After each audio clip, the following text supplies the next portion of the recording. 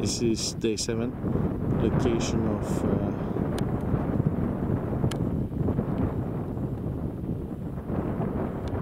Neolithic inscriptions.